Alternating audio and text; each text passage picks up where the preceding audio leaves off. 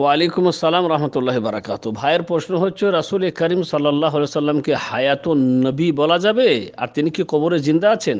ভাই, প্রথমত কথা, হায়াতুন নবী তারা বলেন, যারা হায়াতুন নবীর মানে বিশ্বাসী, হায়াতুন নবীতে বিশ্বাসী। মানে তারা বলে, নবী মারা যাননি। বরং তিনি পর্দার আড়ালে চলে গেছেন এবং তিনি সব জায়গাতেই আমাদের উপস্থিত হন। যেখানে ইসলামিক কোনো অনুষ্ঠান হয়, সেখানে তিনি উপস্থিত হন। তারপরে সেখানে তিনি থাকেন। তাই তারা কি করে? মজলিস শেষে তার সম্মানে মানে নবীর সম্মানে উঠে দাঁড়িয়ে কিয়াম করে আর বলে, ইয়া নবী, সালাম আলাইকা। তো এদের কথা হচ্ছে, নবী মারা যাননি। আমরা বলব, না, নবী মারা গেছেন।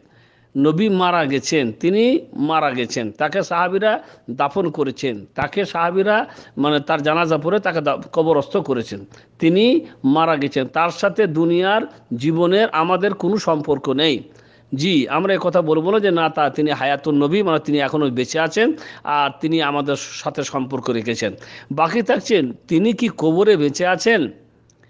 এ ব্যাপারে যে হাদিস, সে হাদিসের মধ্যে এসছে যে আম্বিয়ারা, নবীগণ কবরে জীবিত ইউসাল্লুর নামাজ পড়ে। কিন্তু সেই ব্যাপারের সঠিক ধারণা আমরা জানি না। তারা কীভাবে নামাজ পড়েন, কীভাবে বেঁচে আছেন? যেমন আল্লাহ কোরআনে বলেছেন, শহীদদেরকে তোমরা মৃত্যু বলো না, বরং তারা বেঁচে আছে, তাদেরকে রুজি দেওয়া হয়। এখন বলুন, শহীদরা কীভাবে বেঁচে আছে আর কীভাবে তাদেরকে রুজি দেওয়া হয়, তা তো আমরা জানি না।